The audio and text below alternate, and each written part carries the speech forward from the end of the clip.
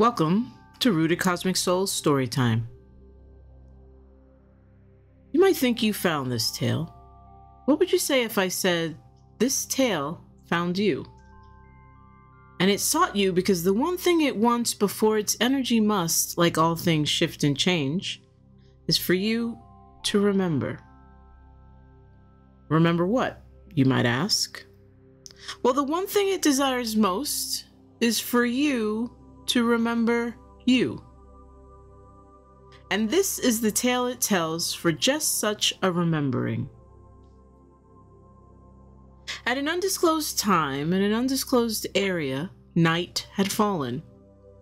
The moon was dark, and stars winked and waved, energetically excited to be the opening act before the headliner, New Moon, would take the cosmic stage. Curious and captivated, the skies watched you step and stumble, following an undisclosed path that showed itself only by steps forward. Is this a dream? Am I awake? You were heard asking, head lifted skyward. A warm breeze asked in return, Does it matter? You did not hear the element's response to your question. No, you did not hear it. But you did feel it, and for a split second, you knew you were heard, and you knew you were answered. And then you forgot.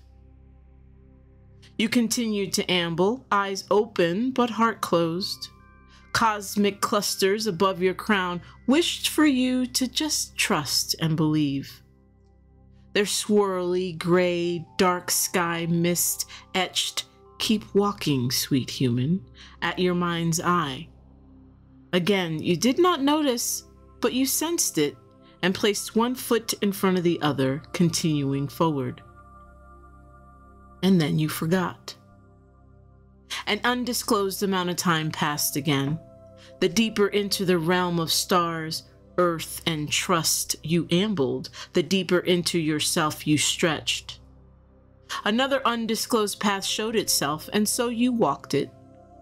Desert sand, rocks, and stillness became high desert mountains, boulders, and wind. A cactus said go left, and so you did. A long eared desert cottontail said go right, and so you did. An undisclosed and deeply vibrating hoot stopped you in your tracks. Slowly and silently, you searched and shifted eagerly. In the darkness, you stood, waiting and wanting. Another hoot just above you. Your tilted head offered the sight of a great horned owl, perched atop a giant ponderosa pine. Staring right at you, Owl hoot hooted again. Are you staring at me? You playfully said, and to your surprise, Owl lifted a wing, feathers rustling, then slowly turned and pointed at what you believed to be a huge boulder, cracked and etched with long indents. For the first time, though you were unaware, time disclosed itself. Taking in what you told yourself was a boulder, you continued to stare, and then you forgot again. An undisclosed amount of time passed once again. Owl hoot hooted once more. This time, you sensed the wisdom and protection offered and walked over to the boulder. Your heart felt before your eyes knew these were not etched boulders before you. This was an ancient and very, very, very large petrified tree trunk stump the crack directly in front of you wide enough to enter. And so you did. This is where the tale seeking you truly begins. Entering the tree, you were transported to an undisclosed location and yet another undisclosed time. Do you recollect your misted feet treading a pebbled river shore where flowing and cresting rapids whispered a watery message? Do you recall it ebbed and flowed at your toes, tickling codes for remembering what was never lost, only forgotten? In this space, in this time, dormant pieces of the whole of you sought to activate your shadowy depths, the parts your deepest self parceled and pieced for protection against forgetting forever. The walls of the great petrified tree trunk, now chopped down and forgotten, offered a message imprinted upon barked skin. Evoke gratitude and grace to decipher. Still unsure if you were asleep or awake, your hiding and masked head tilted upward, the dark moon beckoning, and before ego and pride could hide your truest parts, you sensed a howl in your throat and an ache in your heart. Like a baby born cowled, you were called to look up, to see through the fractal fat, that extra protection set in Earth's womb that you could now shed. Messages moved from the tree's bark to your body's skin, where create breath and breadth to decipher wrote itself upon your forearms, glowing, then disappearing.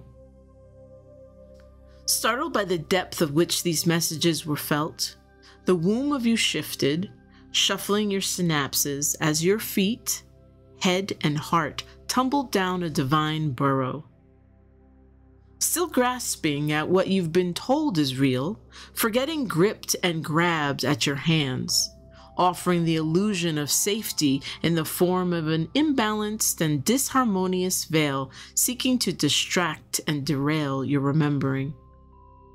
For an instant, your eyes shut and your manic fingers searched the boundaries of the ancient ancestor that called and welcomed you in Fear instead told your virused senses this is, you are in a caged hole. Open your eyes. A whisper in the dark ran across your palms and forehead. The tapping and dancing energy of the now interrupted false evidence appearing real, and you remembered that only your deepest, truest self can see and can seek to decipher friend from foe, truth from fiction, secret spirals from linear lies. And that is why this tale is seeking you. Because energy never dies, only changes. And as the life of this tale comes to a close, it offers you the memory of you that is seeking regard and invitation in. This tale offers you the knowing to touch not to feel, even as employing fingertips ask otherwise. Instead, feel to feel. Go in and through because the journey to remembering is inside.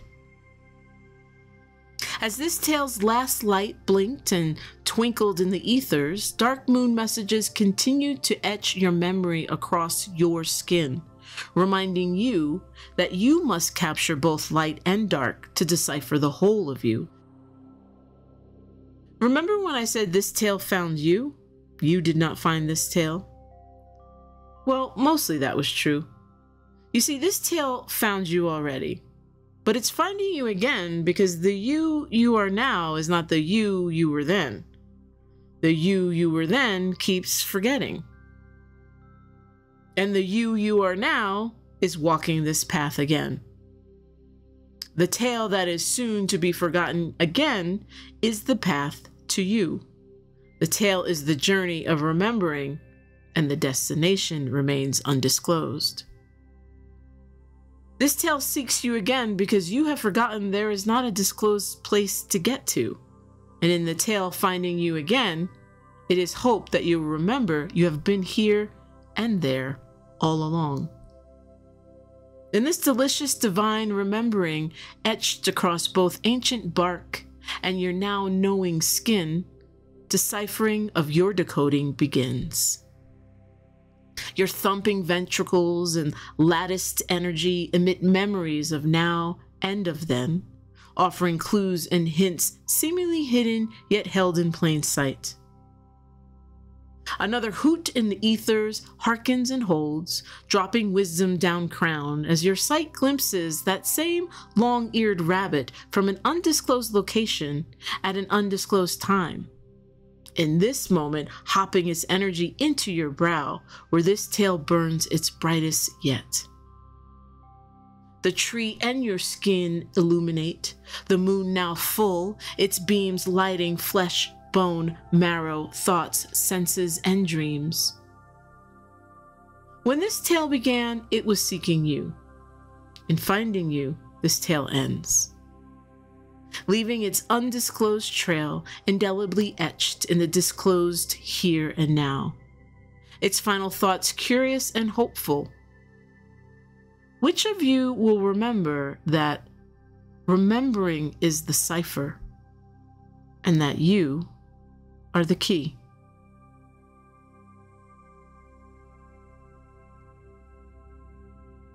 Thank you for joining this edition of Rooted Cosmic Soul Storytime. The tale seeking you has moved on. Maybe, just maybe, you know someone seeking this tale. Sharing is caring.